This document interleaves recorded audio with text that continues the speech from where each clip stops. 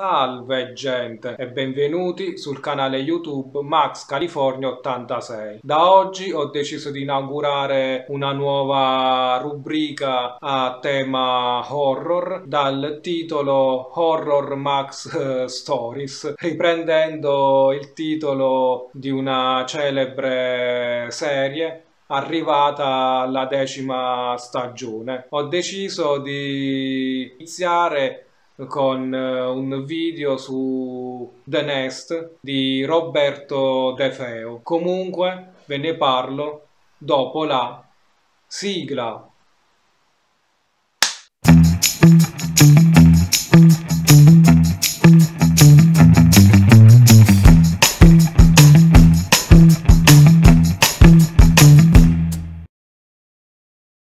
The Nest, esordio alla regia di Roberto De Feo, è un horror gotico autoriale. La location è Villa dei Laghi, una villa che si trova nelle campagne piemontesi. Il protagonista è Samuel, un ragazzo che è costretto sulla sedia a rotelle dopo un incidente stradale nel quale ha perso la vita il padre. La madre, Elena, gli impartisce una, un'educazione severa, tenendolo lontano dai pericoli del mondo. Al suo servizio, oltre alla servitù, c'è anche un eh, medico che fa eh, esperimenti sulle persone. Diciamo subito che Roberto De Feo per uh, The Nest si ispira a The Others con uh, Nicole Kidman e nelle atmosfere il suo film uh, ricorda quelli di Bava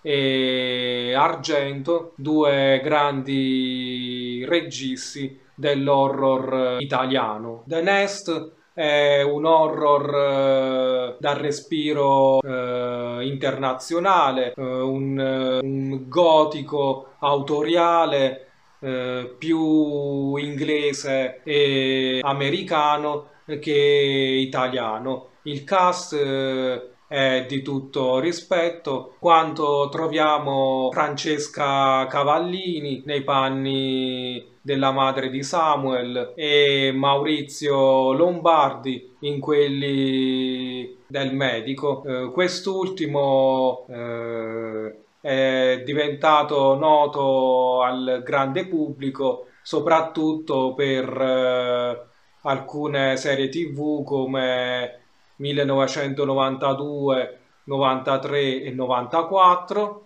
e The Young Pope e The New Pope di Paolo Sorrentino, personaggio di, di, Denise che entra a un certo punto nella storia e con la quale il protagonista si, si apre un po' di più, lei gli fa scoprire qualcosa del mondo esterno, lui gli fa scoprire qualcosa del, del suo mondo. In questo film vediamo che ci sono alcuni oggetti del passato come ad esempio questo telefono attaccato eh, alla presa di corrente mentre l'unico oggetto della modernità sembra essere questo MP3 con il quale Denise eh, ascolta la musica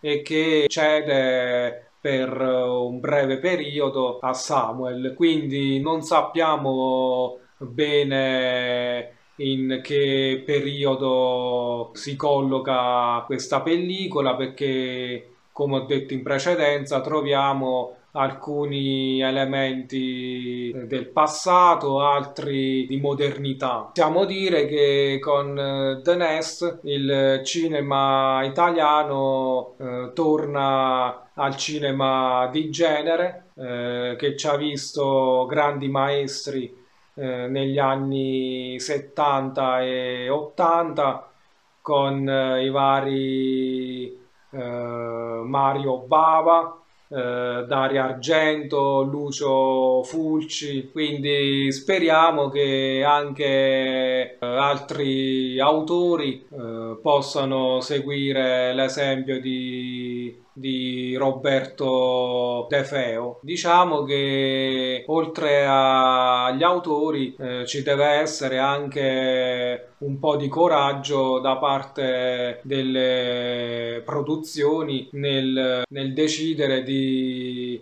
di, scegliere questi eh, progetti facendo un qualcosa di, di diverso. Eh, da, dalle solite commedie o drammi che si sono visti negli ultimi vent'anni. Se il video vi è piaciuto lasciate un like, un commento, iscrivetevi al canale se ancora non l'avete fatto e attivate la campanella delle notifiche se non volete perdervi nulla di quello che pubblicherò qui sul canale YouTube Max California 86 nelle prossime settimane. Nei commenti fatemi sapere se questo video vi è piaciuto o no, se, se apprezzate l'idea di questa nuova rubrica, se volete suggerirmi qualche, qualche film da, da vedere